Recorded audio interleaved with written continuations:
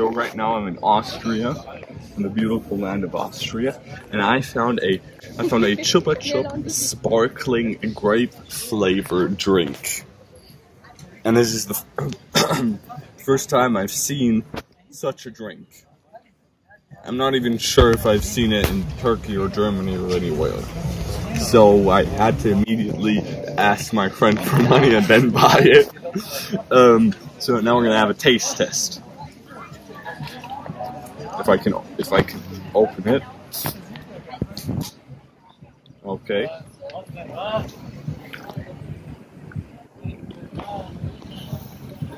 It's yummy.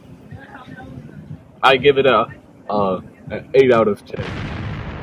But it's probably full of sugar. Yeah, it's yummy. Thanks for watching. This is Joshua out of Austria. See you.